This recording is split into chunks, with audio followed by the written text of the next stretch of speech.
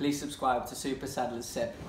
Right then guys, welcome back to another video and today I'm doing a match preview as we're back at the Bescot Stadium to face Carlisle United in our first game of 2021. Before we get into this video, if you're going to enjoy it, please leave it a like. Also subscribe to the channel if you're new. The Blues currently sit third in League 2 in one of the automatic spots. In their last five games in all competitions, they've picked up four wins and they drew the other game.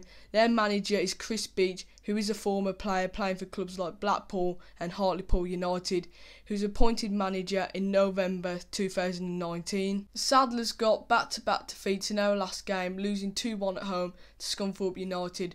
My summary of the game I thought was another frustrating performance and another frustrating result.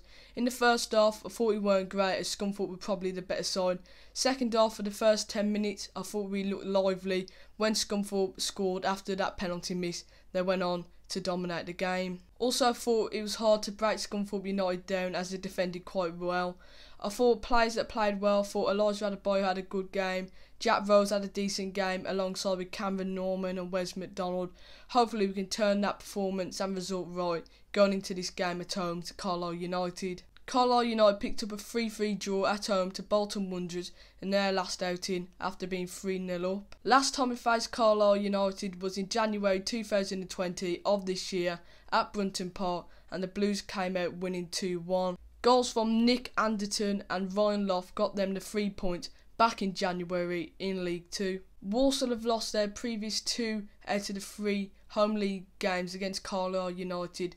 Before this, we only lost two out of the last 15 in the league to them. Carlisle United completed a league double over the Saddlers last season by beating them home and away for the first time in the Football League since the 1994-95 season. I've picked Lewis Alessandra for the player to look out for for the Cumbrians. He's a very experienced player at this level and he could be a threat going forward. He's played for clubs like Plymouth Argyle, Oldham Athletic and Morecambe. I'd make two changes to the side that started in the week against Scunthorpe United, playing in a 4-4-2 formation with Liam Roberts in between the sticks, Cameron Norman at right back, captain James Clarke and Dan Scarr as the two centre backs, and George Nurse at left back. Josh Gordon at right midfield with Alfie Bates and Liam Kinsella as the two centre midfielders, and Wes McDonald at left midfield with Jake Scrimshaw and Elijah Adebayo to lead the line as the two strikers. Like I said, I think we'll just make the two changes with Alfie Bates coming into the midfield for Danny Guthrie and Liam Roberts coming in goal for Jack Rose. I think Alfie Bates has been playing well recently and I think he deserves to come back into the starting 11.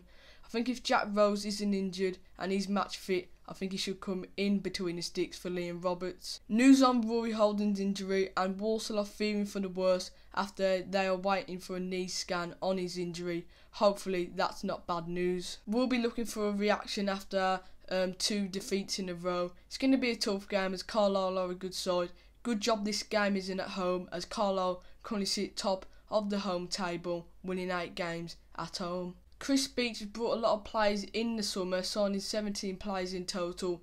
That's permanent transfers and loans.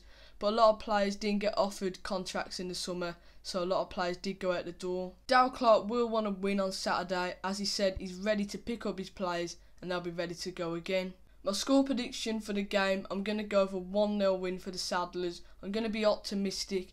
I think the Saddlers will bounce back with a win after our two defeats in a row. I'm going with Elijah Adebayo to get the goal for the Saddlers, but any win on Saturday will be massive. I'll be doing a live watch along for the game against Carlisle United on Saturday, so if you're new to the channel watching this match preview, I'll be live from around 2.45. If you've enjoyed this video, please leave it a like. Also subscribe to the channel if you're new. I'm trying to get to 1.2k subscribers as soon as possible. So if you could help me get there, I'd appreciate it.